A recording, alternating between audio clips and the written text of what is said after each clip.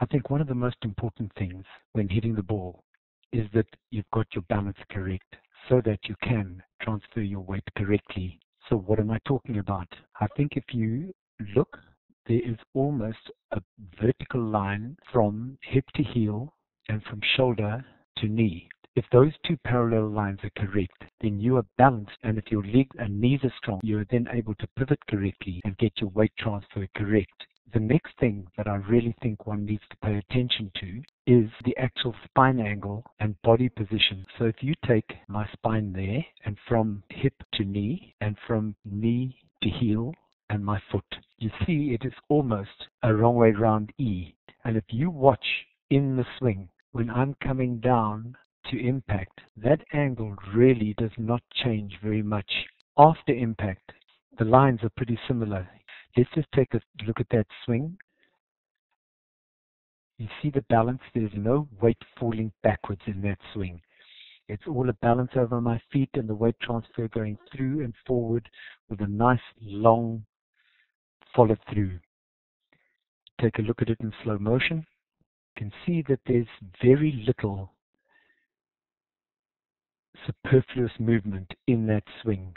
The legs are strong, the body position stays the same, the feet stay the same, they don't turn out. Nice extension of the arm and the mallet swinging through. Let's go back and take a look at a lesson I did with a four goaler here. He was at that time, he's since gone up in handicap. But in his penalties, everything was fading slightly to the right. So we took a look at the fundamentals of what he was doing. See if you can spot the difference. Take a look in slow motion.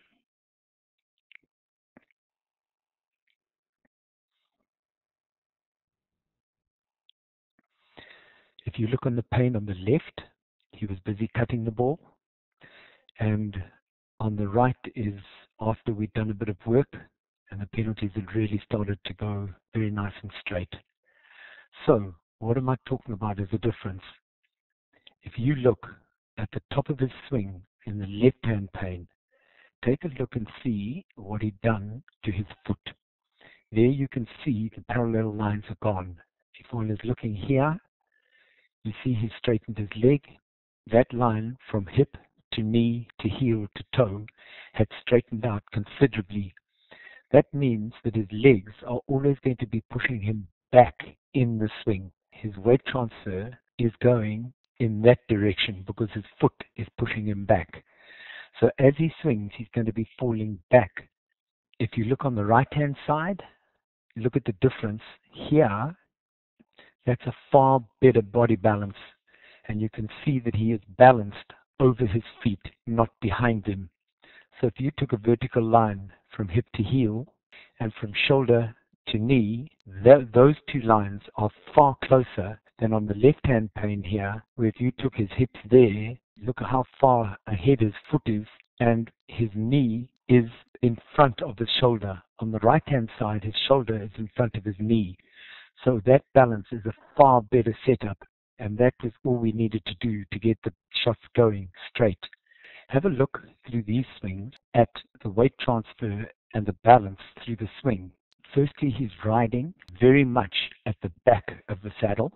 There's a, his weight is right at the back, and there's a lot of room in front of him on the saddle. It's much better to sit forward in the saddle so that you're balancing over your stirrups. You can see at this point already his feet are forward and his weight is already kicking him backwards in this direction. So as he swings, his weight is already going backwards instead of forwards through the shot and he cannot balance. If you look here at the vertical line from hips, you will see how far forward his heels are. And if you take a vertical line from his shoulders, you can see it's way behind his knee. So all of that is going to be problematic to him in this swing. Now as he goes into his swing, the knees are straightening and you will see the foot is rotated out, which means that the weight itself is going to go onto the little toe of his foot that is going to throw his foot forward. You need to have your weight on the inside of your foot, on the big toe and into the heel. And keep your feet facing much more forward than this. Okay, you can see on the right pane at this point where his weight is throwing backwards. The legs are completely straight here.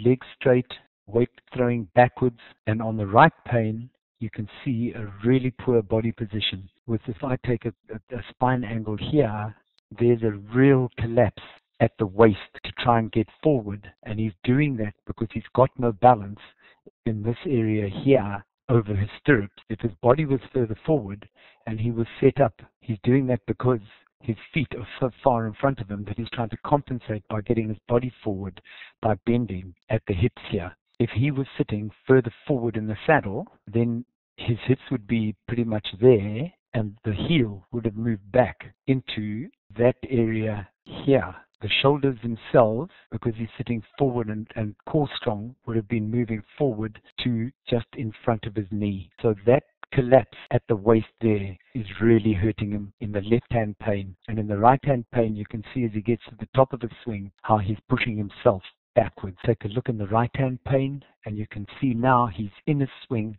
and the weight falling completely backwards as he swings. So now he's hanging onto that right stirrup, no legs in the swing. Take a look at where his shoulders are, where his hips are, where his knees are, and where his feet are. So all of that is just a disaster trying to hit the ball straight. Here on the left hand pane, you can see there he's actually far better with hips and heels nearly in a line and the shoulder much more over his knee. But you will see as he goes through the swing, because of the poor balance coming in, he's going to collapse backwards. There's the foot driving forwards, hanging onto the right stirrup. And you will see because of his flattened wrist, as you saw in the lesson with Crystal the other day, that the mallet will always be traveling from outside to inside and across the horse.